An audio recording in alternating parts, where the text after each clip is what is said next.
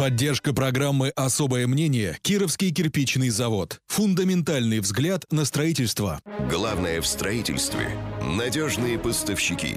Каждая сэкономленная минута – это критерий качества нашей работы. Кировский кирпичный завод.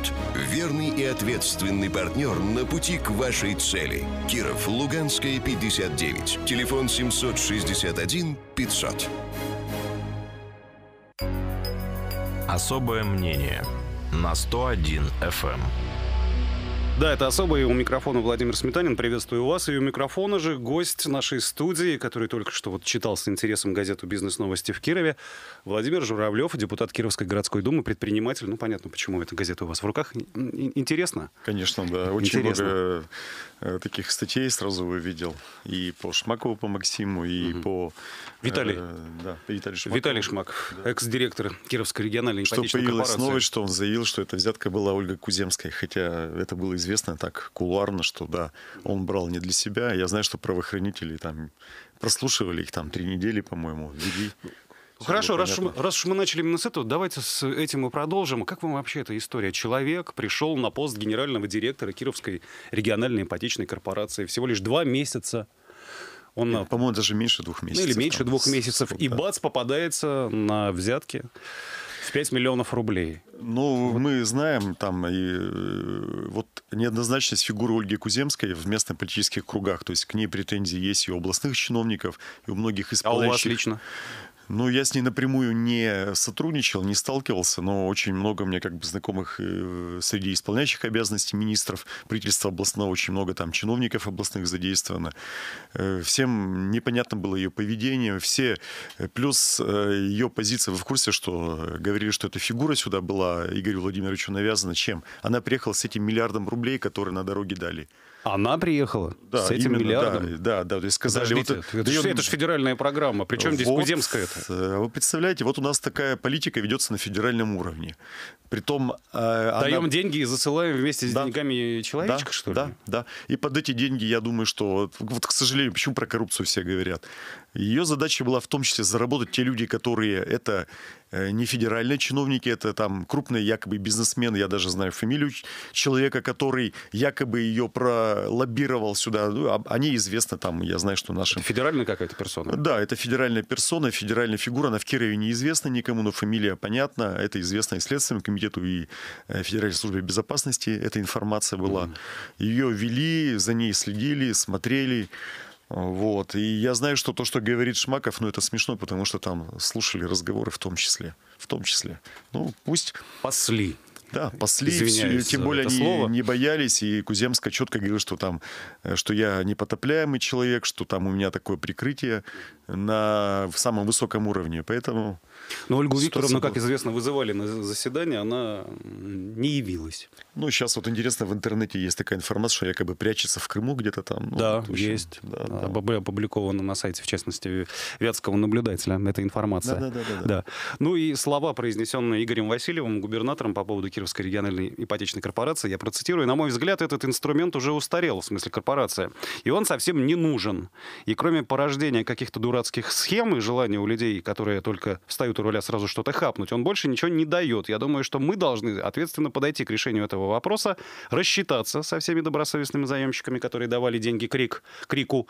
Там много чудес, очень много чудес. Вот фактически предложил ликвидировать глава региона ипотечную корпорацию. Вы согласны с этой позицией? Ну, я понимаю Игоря Владимировича, наверное, в этом я его поддержу. Непонятная роль э, стопроцентного государственного предприятия, которое, в принципе, ну, я считаю, его задача была э, вот изначально для того, поддерживать низкие строительные цены на жилье. Ну, на Делать самом... жилье более доступным да, да. Чтобы, чтобы строительные компании крупно не, не, не договаривались, то есть, например, там, ну, там, по 50, например, тысяч, а э, они могли бы, только начинает завышать, крупные игроки цены в сговор вступили, я знаю, что бизнесу это свойственно, то, например, корпорация, она должна была как бы строить социальное жилье. Ну, вот, например, претензия у меня к корпорации конкретно есть. Это вот случай как раз с 24-й школой. Здесь вот эта площадка, под которой мы планировали... Напротив дома да, Ленина 20. Напротив Ленина 20. Угу. Должна была стоять школа Крику это отдали, я знаю, что это при участии господина Белых, было нашего бывшего губернатора. Здесь я знаю, что в этом доме было запланировано там человек, наверное, как мне сказали в правительстве, человек, наверное, 20. Э, в этом доме должны были чиновников области получить квартиры. Ну, на нормальных условиях, там, купив mm-hmm. и так далее. Просто место якобы центральное. Срезервировали. Да, об этом мне заявляли тогда работники Крика в, в, в кулуарных разговорах. Хочу сказать, что мне удавалось там два года как депутату оттягивать вот эти общественные слушания, проводить, чтобы этот дом не строился здесь. И вот то, что он в А вы были в числе, простите, тех, кто настаивал, настаивал на возведении пристроя, да? Я настаивал на том, что здесь должна быть школа, да. Школа. Именно пристрой школы. Мало того, это была инициатива лично моя, как бы, э, потому что здесь по старому генплану должна быть школа, и она необходима в этом месте. И это последняя, более или менее, более или менее подходящая площадка для школы. Тем более мы бы ее не строили как новую школу, потому что здесь не хватает там около гектара земли. А чтобы построить школу, нужно 2,3 гектара земли. А как раз там существует 24-я школа в Яслях бывших, и мы бы оформили это документально, как пристрой к школе, и было точно такое же здание, даже можно было бы чуть больше, как буквально 300 метров 27-я школа, гимназия, которая только что отпраздновала столетие. Мы бы могли таким же образом построить здесь школу, и сегодня бы проблемы в центре э, со школами, ее бы не было. Понимаете, хватило, она бы хватило бы Хватило. Эта школа на 750 мест была бы вполне нормальная. Мало того, там была бы и спортивная площадка, чего сегодня нет вообще у 24-й школы и так далее. То есть мы бы решали многие социальные вопросы. И два года нам удавалось крик просто, знаете, ну, они там э, юристы, это государственная компания 100% областная дочка, они не уходили левыми схемами. И тогда Крик решил э, обойти вот это. Мы останавливали строительство, там, оттягивали все это, как возможно было. Как только они продали это э, к ЧУСу, Сергею Ивановичу Кучерову. Там пришли ушлые э, частные юристы, которые начали моментально протащили и приведя там людей на общественное слушание и так далее. Ну, так как делают все строительные компании крупные они протаскивают как бы на общественное слушание, обычно люди, граждане в общем, они подмяли под себя это все дело. Подмяли. Мало того, единственное, что э, здесь вопрос долго очень решался, там, сколько этажей строить. И так-то здесь должна была стена первоначально по проекту Крика. Это такая же стена, как Ленина 20. Помните, какая стена? Только там девятиэтажная, а здесь должна была быть 16-этажная стена. И удалось немножко за счет того, что там э, экспертизы были сделаны, сократить, что это свечка это, может быть, менее привлекательно сделало вот эту э, стройку для них, но, с другой стороны, э, хоть, хоть какой-то просвет, хоть какая-то архитектура. Вот. И Крик, конечно же, добился, хотя была... Э, вот я с генеральным директором Криком буквально еще не, они приступили к котловану. С каким именно? генеральным директором? Я у Кучерова какой-то был на тот момент. Мы встречались у Морозова, Э, Романа Александровича, угу. зама по строительству, втроем в таком формате. Зам, зам главы администрации, да. Да-да-да. Это еще как раз перескок Александра Викторовича его только назначили. И э, где э, я высказал генеральному, нам, вам, насколько это площадка? Он говорит, ну да, мы вложили сюда это, это, это деньги. А, но... это был Перминов? Я Нет? не помню фамилию человека mm этого. Вот. И он готов был рассмотреть вопросы. Говорит, нам нужна здесь площадка под школу мы готовы рассмотреть там участок, например, здесь около гектара, там, ну, 0,97, по-моему, гектара здесь. Мы готовы там получить 2-3 гектара, например, в чистых прудах какой-то земли, но больше, но не в центре. Понятно, что земля в центре стоит дороже. Под застройку мы готовы поменяться. Ждем предложений. Мы доложили Александру Викторовичу с Романом Александровичем Морозовым, но ноль реакций. Реакции никакой не произошло, поэтому мы потеряли эту площадку. Угу. Ну так что с криком-то делать? Ликвидировать, поддерживать все-таки? Ну, надо смотреть. Во-первых, это... А если ликвидируют, вы вот то, о чем вы говорили, монополисты задерут цены-то? Ну, я думаю, что ну. сейчас уже появились механизмы на рынке, которые могут, можно регулировать цену. И в данном случае вот э, мы, мы, мы все понимаем, что сегодня многоэтажное строительство и точечное, большие этажные, в центре города уже все все застроено. То есть все застроено, фактически его просто физически нельзя делать. И я вот все смотрю, долго ли жители города Кирова будут терпеть эти многоэтажки. Но вы поймите, что это...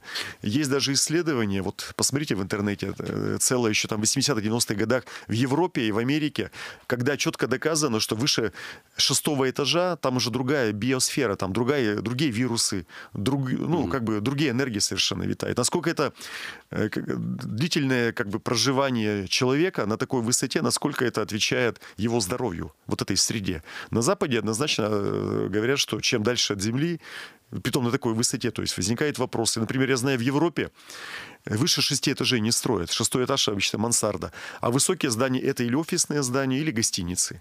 То есть для, где люди постоянно не проживают. Угу.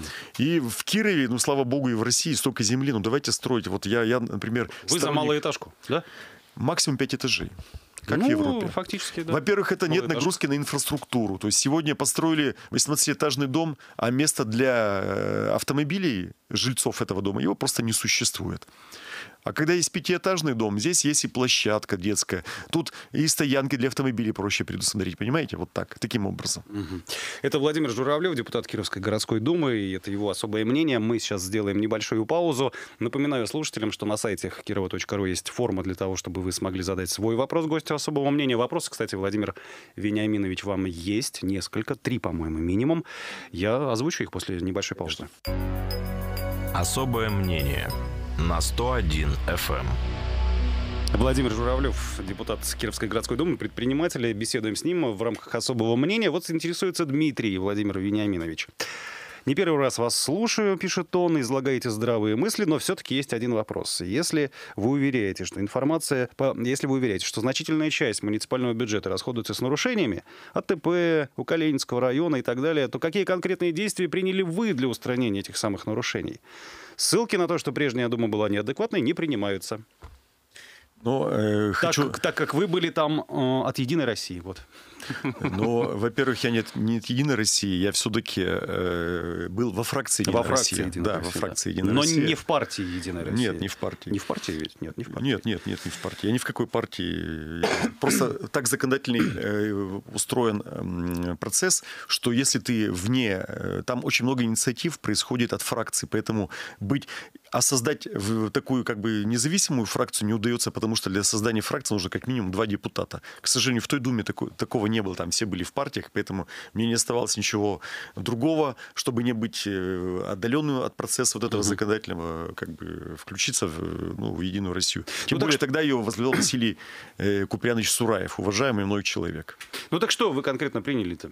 Вот смотрите, Отвечая если на брать, Дмитрия. Э, смотрите, какая ситуация. Во-первых, ты не можешь сделать поправку в нарушении бюджета, потому что всегда за любое решение я несколько раз предлагал, э, несколько раз предлагал проголосовать. Ну, вы же знаете, какая фракция. Она голосует против, и все. Понимаете, поправка бюджета – это коллективный документ, то есть он требует коллективного голосования большинства. А мы помним, э, я понимаю вас, что не принимается. Но что вот индивидуально было сделано? Угу. Во-первых, э, по отношению по главе администрации бывшего Драна Дмитрия Николаевича было выиграно несколько судов и ему было лично, как главе администрации, наложен штраф, например, за ямочный ремонт.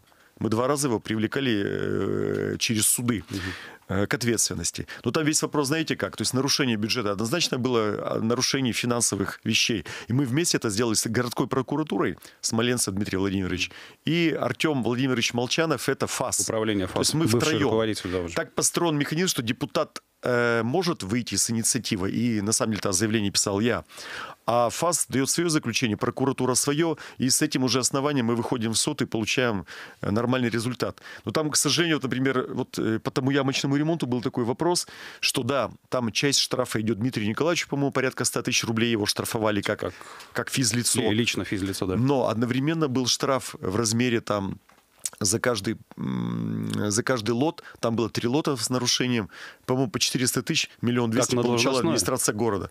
То есть, а, вроде... как, а как на должностное нет, не было? Нет. Не было. Э, ну, как должностное, но как физлицо, mm. да, и плюс как на администрацию. То есть, понимаете, то есть нарушение это было принято им, и там миллион двести шел, например, штраф, э, и меня вызывает, мы тогда с судьей разговаривали, что ну, нужно так, чтобы бюджет оштрафали на миллион двести. Mm-hmm. То есть, понимаете, так устроен э, закон. Слушайте, а куда штрафы-то поступают? Они же обратно в бюджет потом идут. Э, ну, не в, не в местный, не в не муниципальный. Это же федеральный. А, Вся судебные, mm-hmm. все судебные штрафы там, я, я кроме административных поймал, штрафов. Поймал себя на мысли, какой Кроме административных штрафов там какая-то часть поступает в областной бюджет. Угу. И, по-моему, даже в городской, ну, через, э, пере, через фильтр, переход да. через, да, через, через областного бюджета. Угу. Поэтому, к сожалению, э, орган городская дума, он коллективный. Я могу инициировать какие-то вопросы. К сожалению? К сожалению. Вы оговорились? Нет, Нет, к сожалению, он коллективный. Ну, в ответ на вопрос Дмитрия, и я не могу один ничего не сделать, не согласоваться с другими депутатами. Так Дмитрий-то и спрашивает о том, что лично вы-то, вы, вы. Я раз 20 выходил с предложениями о том, что изменить некоторые поправки в бюджете. Раз 20. Если депутаты не приняли... В том числе по расходованию бюджетных да, денег. Да, да, да. Угу. Мало того, вот сейчас у нас очень злободневные... Ну вот завтра мы, э, рабочая группа с депутатами, притом депутаты разных партий, таких, я считаю, активно собираемся, как раз нас несколько там вопросов э, волнует по тратам. Прежде всего, вы знаете, мало кто об этом знает, что есть в бюджете города трата на поддержку сельхозпроизводителей. Представляете? Я, нет, для меня это не открытие, я, я знаю. И представляете, все Есть эти пять лет в прошлом э, созыве там по 300 миллионов получала одна группа. Мы ее все знаем, да? за которой стоит господин там Крепостнов, Гозман. Вот они получали, никто другой, например, Заречье не получала эту. И в этом году там 200 миллионов тоже предусмотрено в проекте. А почему получает только одна?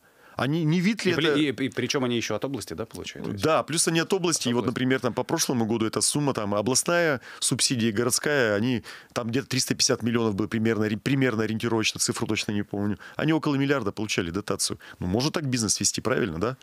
Ну, при, при такой дотации. Сложно, конечно. Плюс там есть нарушения, расклад. например, за, представляются одни и те же проекты, под разным соусом и дотации получается. Я считаю, что это требует проверки. Чего и... вы будете требовать в этом э, Я смысле? считаю, что не должна одна группа получать эту дотацию. Или, надо, или, не... или, или группа фирм аффилирована одними и теми не же Не надо лицами. затачивать под кого-то, Конечно. Да, считаете? Конечно. Если это целевые деньги, мы сейчас это как бы изучим, то можно предложить за речью, это тоже городская черта там. Еще ряд есть предприятий там, ягода, например, Э, хозяйства. Ну, мы найдем. Я думаю, что у нас есть сельхозпроизводители. И они не против бы получить эти деньги. А кто отказываться от да. денег? Деньги же они безвозвратные, они не на возвратной основе. Это чисто субсидия разовая. Угу.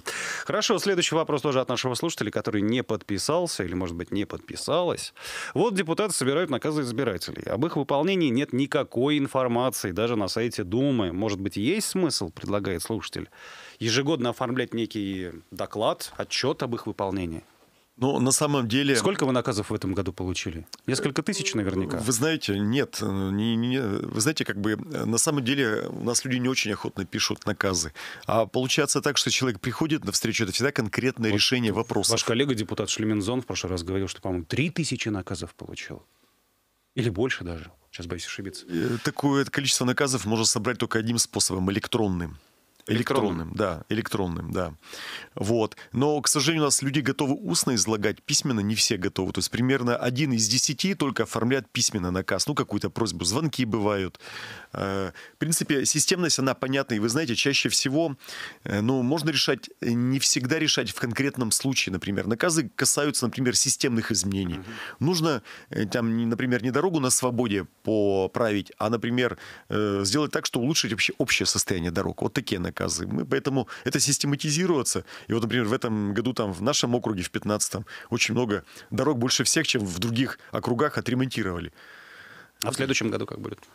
Я не знаю, но в этом году был Нет, миллиард результаты рублей. голосования это ведь э, результаты голосования это уже известны по дорогам. Как, Нет, до конца пока не сформирован пул. Я думаю, что это будет э, окончательно к началу э, организации этих конкурсов по дорогам. Это где-то февраль, конец февраля, март. Вот тогда будет формироваться пул окончательно. Вот тогда мы можем что-то говорить. Но обещают миллиард триста или даже миллиард четыреста на следующий год. В этом году миллиард. Но мы все видели, как он был освоен. Бордюры не, не учтены, колодцы, да?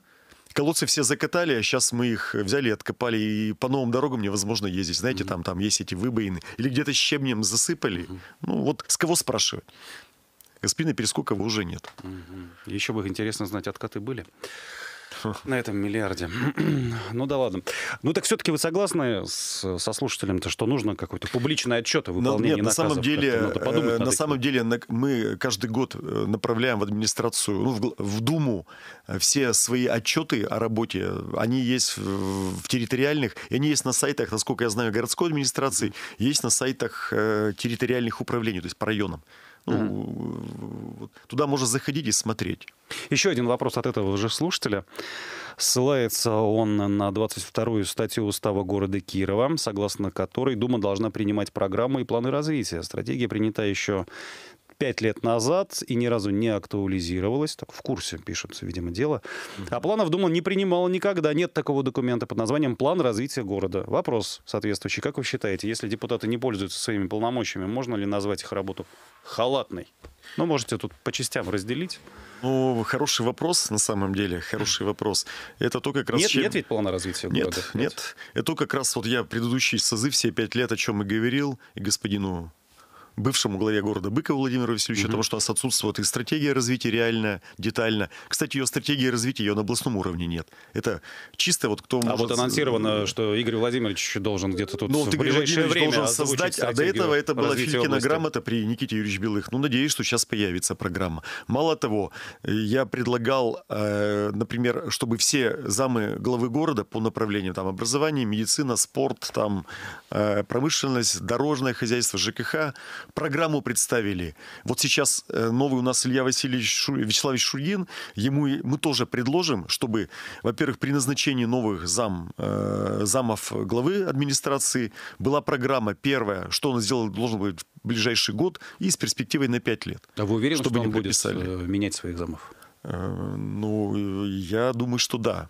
Угу. Я бы поменял. А как э, Илья Вячеславович будет э, действовать? Ну, просто считаю, что эти замы, не рабочие. Очень многие просто не соответствуют своим должностям. Так же, как все время правительство области. Они занимают места. Мы не забываем, как формировалась администрация города. Мы же помним, что ее определял даже не господин Быков, понимаете, а там несколько бизнесменов, которые вот даже доходило до того там в 2011 году, в 2012, в 2010, что некоторые бизнесмены к ним приходили на работу устраиваться в администрацию города. Слава богу, сейчас этого нет, но очень много вот этих вещей-то они остались. Нужно четко менять. Александр Викторович, к сожалению, Перескоков эту э, вот эту кадровую политику он ее так не довел. Там, по-моему, только два. Это он взял Алексея Журавлева и все их кадровые изменения и поставил Михаила Александровича Долгопола на Октябрьский район вместо Гурьянова, которого уволили не совсем хорошо, там, с уголовным делом. И э, поставил Симакова Вячеслава Николаевича на должность. Все, вот эти кадры. Ну, это смешно.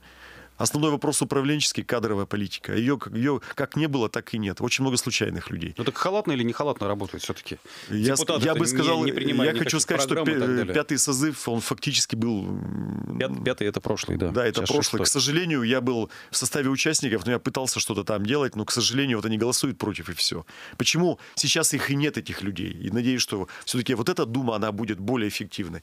А Дума, кстати, формируется, вот, уважаемые слушатели... Но сейчас я э, напомню, может быть, Владимир Владимир Вениаминович возглавляет фракцию «Справедливой России» в нашем городском парламенте. Да. Да, и она, она вторая после «Единой России», mm-hmm. и вот мы очень много вещей собираемся как бы позиционировать. Мало того, пробить даже то, что э, вот выступает глава города, резюмирует заседание Думы, это при господине Быкове, это вообще как бы узурпировалось, понимаете? То есть телевизионщикам четко говорили, только с Быковым разговаривали, потом только с Ладыкиным. А оппозиция где? Мало того, эти интервью брались, ведь, знаете, мы выделяем деньги по работе со средством массовой информации. Ну, есть такая строка в бюджете, А позиционерам да, не выдавалось. Сейчас я надеюсь, что там вот, я уже, например, вижу заявление Елены Васильевны, мы уже, наша фракция уже не согласна там с двумя, с тремя пунктами. Например, что в частности, именно? она заявила, что центральный рынок будет, скорее всего, приватизирован, потому что он неэффективен и так далее, за 500 миллионов. Так, чуть я... позже об этом поподробнее поговорим, хорошо? Поговорим, угу. хорошо, угу. давайте поговорим. И второй пункт? И обозначить. второй э, пункт, она собирается вот еще куприт приватизировать. Слышали, да? Контрольный пакет акций. Контрольный пакет mm-hmm. акций. Ну, тут, тут чистая воды коррупция, что в первом случае я знаю, кто э, выгодоприобретатели. Во втором случае э, это все э, члены Единой России, фракции. Они туда пришли для этого. Ну, Елена Васильевна, вы начинаете уже играть. Так, давайте подробности после небольшой паузы рекламной, да, все-таки? Пауза. Особое мнение на 101 FM. С Владимиром Журавлевым мы беседуем, депутат Кировской городской думы, предприниматель. Так, так, интересно, давайте пройдемся. Ваше мнение по центральному рынку и по, по продаже центрального рынка и по продаже контрольного пакета, пакета акций муниципального предприятия «Куприт». Елена Васильевна Ковалева, как известно, поддержала продажу рынка, назвала минимальную стоимость. Ну, она и ранее озвучивалась, это 500 миллионов рублей. И Нет, вот... она озвучилась другая. Вы в курсе, что вот мы на последнем заседании там зарубились очень долго? Нам вообще предлагали продать центр центральный рынок за 250 миллионов начальную цену. Да ладно. Мы час 40 бодались, час 41 вопрос, качали, С кем? качали. Кто противостоял кому? Э, Ну, фракция Вы? «Единая Россия». Вы и фракция «Единая Россия». Да, там ну, и как бы бодались, бодались, в итоге договорились, что в миллиард рублей. Нам там заявляли, что якобы прокуратура не пропустится, ну смешно, мы хозяйствующий субъект, в общем, такую хинею нам Подождите, несли у нас летом была администрации города. глава департамента муниципальной собственности Наталья Мамедова, она говорила о том, что сначала нужно оценку провести еще центрального рынка. Ну, погодите. Она проведена вообще? Вот реальную, чтобы стоимость рыночную Э, узнать? Нет, ну мы, мы, мы смотрите, 500, мы- 250 миллиардов, Мы знаете, как аргументировали? Мы начали, мы открыли э, телефоны сотовые, благо, что сейчас доступ э, в кадастровую таб- таблицу Ну, он известен. И начали смотреть, считать, там несколько участков земли на центральном рынке, их там, по-моему, 11 или 7, вот я сейчас не помню. Э, И начали считать С разными, кадастровую с стоимость. разными кадастровыми Да, номерами. Да, Мгм. да. Начали считать, и мы только насчитали, что это больше 500 миллионов кадастрово. Это не рыночная стоимость, это кадастрово. Моя оценка, при том она занижена, вот минимальная цена только земли миллиард рублей. Только он- земли. Да, только Без земли. того, что там Плюс там 10 понастроено и тысяч квадратов с лишним. Это э, эти магазины, которые по периметру на центральном рынке. И считал, и считаю, считал и считаю, что здесь, и мы предлагали тогда, помните, ведь э, хотели приватизировать центральный рынок еще там Вы предлагали некую управляющую компанию создать? да? Нет, просто на- в рамках муниципального предприятия, как э, проинвестировать, построить там мощный комплекс выставочный в центре, не снося старое здание. Это позволяет на 20 тысяч квадратных метров сделать. Второй этаж за счет этого продать э, всем арендаторам, которые сегодня арендуют на центральном рынке. Почему они не, не должны получить какой-то кусок? Притом по нормальной цене, например, там по 50 тысяч за квадрат я, я проговаривал с профсоюзами, притом с разными на центральном рынке, с работниками. Они, в принципе, согласны. Они согласны были купить? Да, они поучаствовали, там магазин от 15 до 30 метров, мы бы эту верхнюю часть продавали бы, за, эту, за эти деньги, то есть этого достаточно, э, мы бы строили первый этаж полностью, и он оставался бы, 51% оставался бы за, в собственности администрации, притом администрация не вкладывала бы ни копейки. То есть такое, такая определенная концессия. Э, Да-да-да, Мало того, концессия, да, арендаторы вот так, были да. бы, арендаторы были бы как бы все довольны, то есть они остались и получили кусок свой. По крайней мере, там будут они торговать или нет. Это второй вопрос. А второй вопрос, чего у нас сегодня нет, это площадка для выставок. 10 тысяч внизу у нас бы оставалось это для проведения ярмарок и выставок. Вы, вы в курсе, что вот у нас сельхозпереработка очень сильна, там хлебо, хлебобулочные предприятия совершенно, там колбасные, мясные, э, кондитерские, молочные.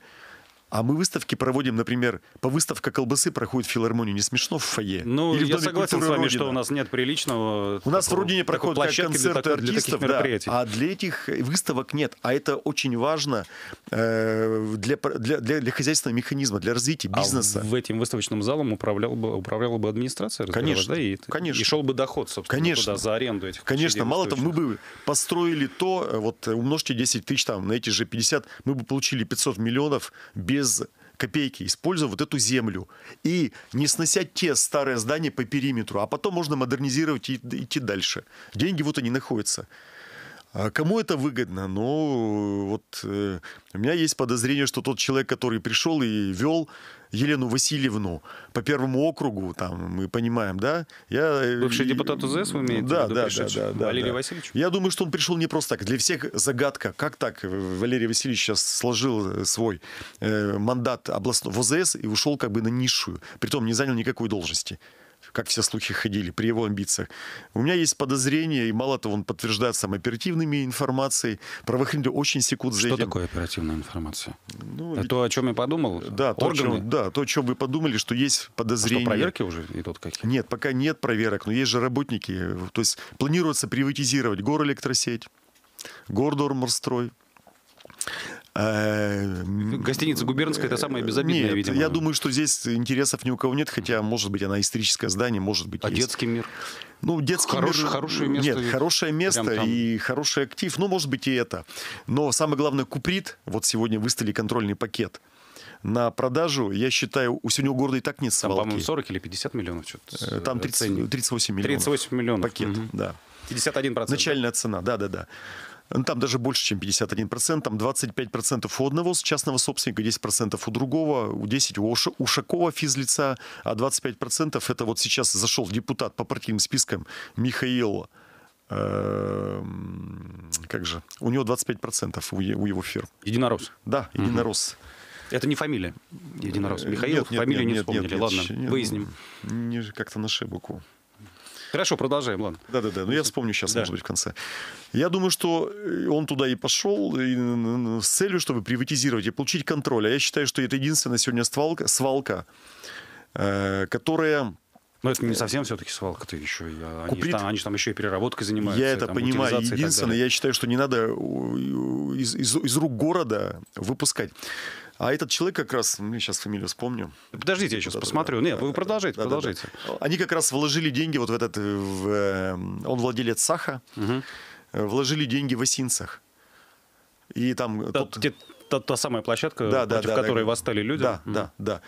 Ну, зачем продавать здесь? Пусть город стоит под контролем. Тем более, и так 25%. Угу. Мало того, есть... Шихов, да, Шихов, Шихов Михаил да, Викторович. Да, да, Шихов Михаил Викторович. Он выгодоприобретатель. Я уверен, что он заявится и начнет выиграть. Зачем отдавать свалку? Тем более это прибыльное предприятие, приносящее прибыль. Зачем его продавать, я не вижу смысла. Тем более в бизнесе некоторые примитивно мыслящие люди считают, что ну, он недостаточно, значит, нужно продать. Погодите, есть э, если ты держишь контрольный пакет, ты определяешь политику. Вот почему э, я ратую за то, что КТК, это тепловые э, вот эти как бы сети, чтобы обратно вернуть их, и контрольный пакет оставался бы у города. Да, потому что мы тогда можем управлять какими-то процессами. Мы получаем тариф, мы ремонтируем То есть это. вы против концессии, которые сейчас просят активно? Э, вы знаете, концессии это всегда... Я не верю тем, которые сегодня власть придержащим, они всегда из этого получается, что по концессии кто-то получается выгодоприобретатель. Почему в Татарстане э, и КТК, они остаются и свалки, они остаются в ведении государства? Ну, муниципалитета в частности, или там областные и так далее. Вы, мы не понимаем, что владение каким-то пакетом для социально важным, э, оно необходимо для того, чтобы контролировать этот процесс удерживать цены, чтобы не воровали и так далее. Сейчас они выводят деньги, как знаете, вот у нас по ЖКХ очень же много вопросов к ТГК-5 было, да? Угу. То есть там они получили льготу в 700 миллионов в курсе, да, годовую примерно, потому что якобы там запустили какой-то проект. Стали сейчас проверять, возникают вопросы. Они не ремонтировали, оказывается, многие теплотрассы, хотя отчитывали, что они переложили. А как спросить-то с людей? Вот в курсе, что мы страдаем, а мы платим это в тарифе, все это заложено, а это сотни миллионов рублей. И, и сегодня, например, КТК, если бы у нас был контрольный пакет КТК, у нас бы не было многих проблем. Вот сейчас там выставили 900 миллионов, эти же тепловики, за то, что мы там три года не платили по 300 миллионов за социалку за детские сады, за школу, угу. там еще за какие-то вещи. Если бы у нас был контрольный пакет, мы бы обладали. КТК э, прибыль приносила в размере как раз 300-500 миллионов. А кто отказываться? Вот для меня это, ну скажите, э, разубедите меня в другом. Ну я понимаю, какой да, подход вы исповед... Это же дополнительный бюджет. Да, ну смотрите, вот Елена Васильевна говорит, ну если мы плохо управляем, как собственники, безобразно, и процессом, и имуществом, и всем, вот она считает, что надо в частные руки. Нет. Если Еле... управляем плохо. Не получается я Елене Васильевне хочу пояснить, мы с ней пока не дискутируем на эту тему, но я как преподаватель вот управления говорю, Э, во всем мире, Елена Васильевна, я понимаю, что вы финансист. Вот запомните это, во всем мире уже аксиома, когда дважды два четыре. Известный факт. Э, частные предприятия эффективнее Э, в, тех сферах с количеством работающих на предприятии до 100 человек. Все, что свыше 100 человек, это будут государственная собственность и проблемы в управлении, что частная собственность, независимо от формы собственности, это есть проблемы, и они должны решаться. И когда Елена Васильевна говорит, так, э, Елена Васильевна, и город плохо управляется, так тогда давайте город продадим.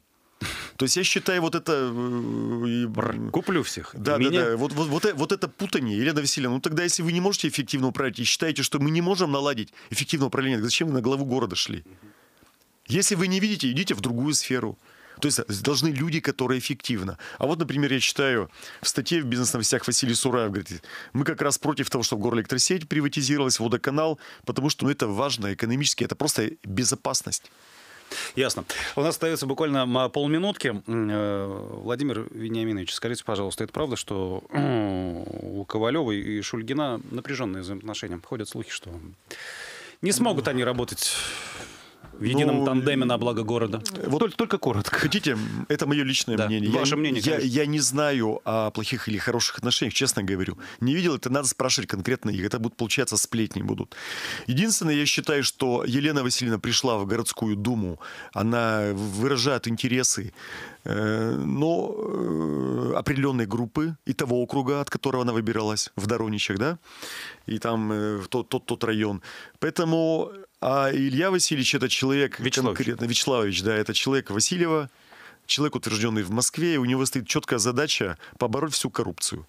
А, к сожалению, Елена Васильевна слушает и поддерживает теми кругами, ну, которые хотели бы приватизировать, например, вот эти все предприятия.